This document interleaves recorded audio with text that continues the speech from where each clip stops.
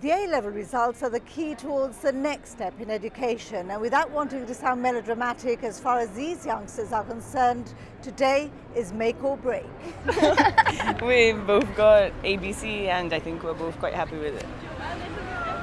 you got fleas! You got fleas! Come, give me a hug. You got fleas. Me, Kingston, University of Liverpool.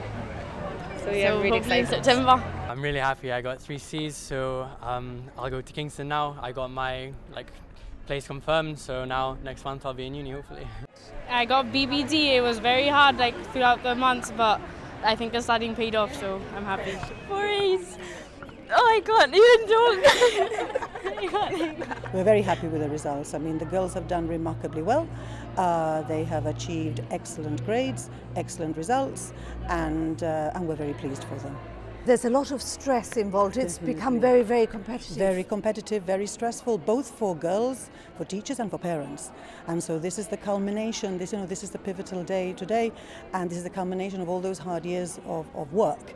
Uh, and yes, it is very stressful, and there are a lot of tears, but there are a lot of happy tears as well. Some of the girls exceptional. Very, and some some really exceptional stories uh, and and remarkable success for some of them. Yes. Um, I got an A star for English literature, an A for religion, an A for Spanish, and a B for history of art. How much work goes behind the scenes t- for you to be able to say that? Loads of work. I studied endless hours a day, so I'm glad that all my hard work has paid off finally. What happens now? well, I got an email this morning confirming my place at the University of York. So I'm over the moon and I can't wait to leave in September. I'm going to study English. I'm so happy. I, I really can't believe it. Okay, so tell everyone what you got. Uh, I got three A's and a B, and I'm going in September to the University of Southampton to study medicine. Um, so yeah, I'm, I'm over the moon. I'm ha- so glad that all the hard work has paid off. And it's a lot of hard work. It's a lot. It's a lot. and it shows that we have a system that works. Uh, we're very proud of our system. Uh, there's a lot of time and effort you know, invested by lots of relevant people uh, and so therefore we reap the benefits of that today when we have the results.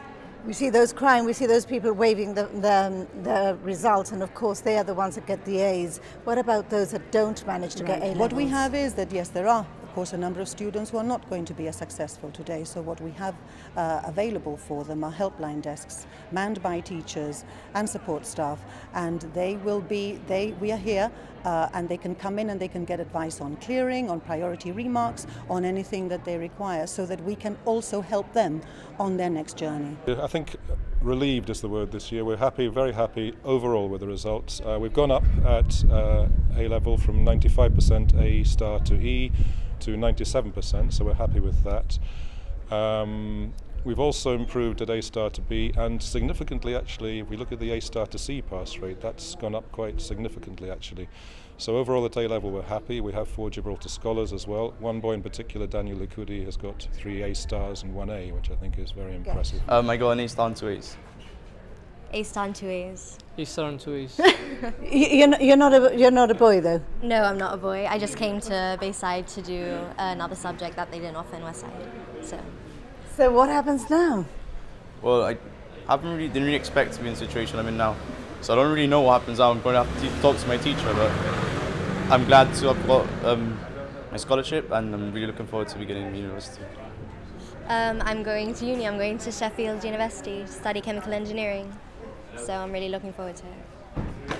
Yeah, well, well, I went to London School of Economics, now I represent Gibraltar.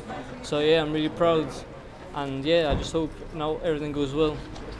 AS level, um, we tend to overlook AS level. AS level this year, I'm I'm very happy with because we've we've increased our grade at A, A to E from 79% to 87%. That's our best in about seven years, I think.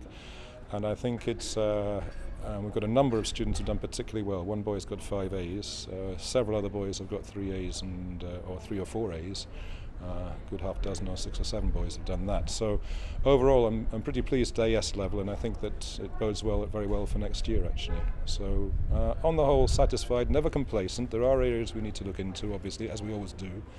But we're pretty happy with the results. Yeah. That is also encouraging because what uh, students do for AS generally that reflects in the A2 results. So we hopefully will see that further increase next year.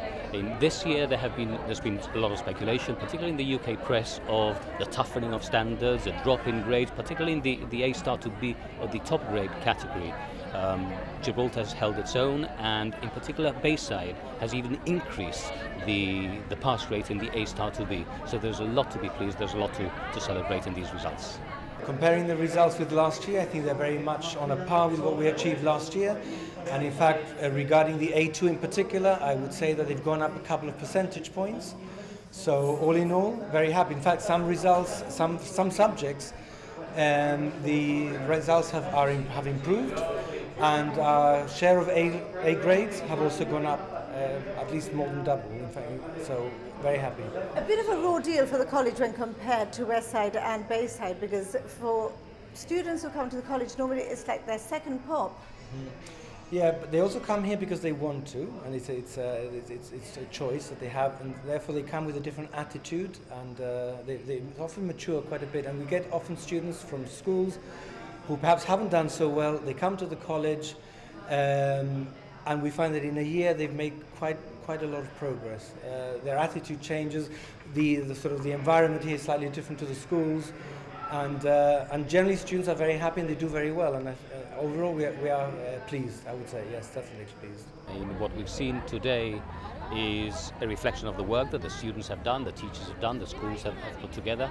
We've seen a trend in the last three years of an increase in the overall pass rate, and this year has seen no, no difference. In fact, what is particularly pleasing is that all three schools, Bayside, Westside, and the Gibraltar College, have all seen an increase in the overall pass rate in the A star to E of 2% each. And that's, that's a fantastic achievement for all the schools and for all the students who clearly did the work. After years of hard work and weeks of worry, the students finally get to relax. Judging by the results, it'll be celebrations and not commiserations.